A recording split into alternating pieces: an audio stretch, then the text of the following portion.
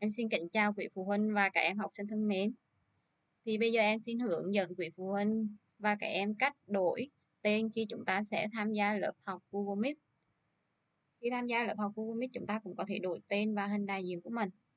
Thì đầu tiên á, là chúng ta sẽ đăng nhập vào cái tài khoản Gmail của mình.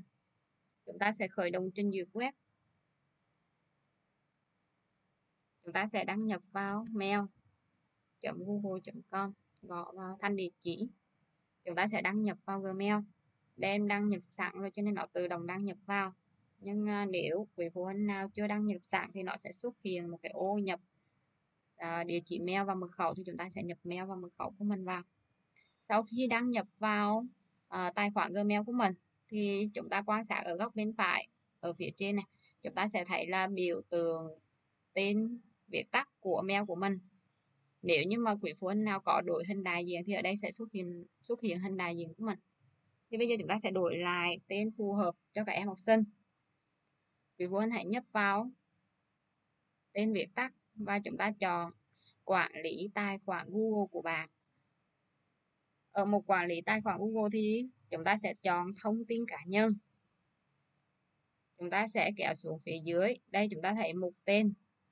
Bây giờ chúng ta sẽ đổi tên trước chúng ta sẽ nhấp vào đây. Và chúng ta sẽ đổi. Thông thường ở Google thì ờ, nó sẽ hiển thị tên rồi trước rồi mới đến họ. Do đó khi khi đổi, ví dụ bé tên là Nguyễn Dương Anh Thư thì chúng ta ở mục họ chúng ta sẽ để là chữ Thư. Và mục tên chúng ta sẽ để là Nguyễn Dương Anh. Thì khi mà hiển thị ở Google Meet thì nó sẽ xuất hiện là Nguyễn Dương Anh Thư. Trong trường hợp mà quý phụ huynh muốn để luôn cả lớp cả lớp thì chúng ta sẽ bỏ cái chữ thư này đi. Chúng ta ghi đây ví dụ như là lớp uh, ba một chẳng hạn. Thì đây chúng ta sẽ thấy mà là ở mục họ chúng ta sẽ điền lớp và mục tên chúng ta sẽ điền đầy đủ cả họ và tên. Sau đó chúng ta kéo xuống phía dưới và nhấn nút lên lưu. Như vậy chúng ta đã đổi được tên của các em xong. Bây giờ chúng ta sẽ đổi uh, hình đại diện ở một thông tin cá nhân luôn. Chúng ta cũng nhấp vào thông tin cá nhân. Ở đây ở mục ảnh.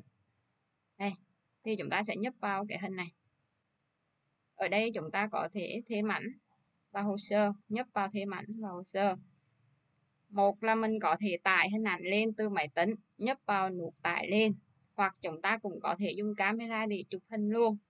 Bây giờ chúng ta sẽ chọn tải lên từ máy tính chọn ảnh để tải lên. Đây, ví dụ em để ảnh ở OD thì chúng ta sẽ chọn để OD và chọn ảnh.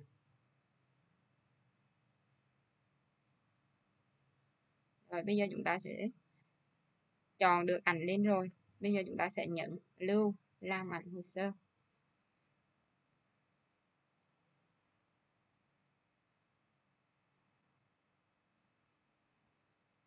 Đó, bây giờ thông tin của các em đã được thay đổi. Đây, Nguyễn Dương Anh Thư, lớp 31 và cái biểu tượng của Gmail cũng thay đổi bằng hình đại diện của các em. Như vậy là chúng ta đã đổi thành công. Xin chào quý phụ huynh và các em học sinh.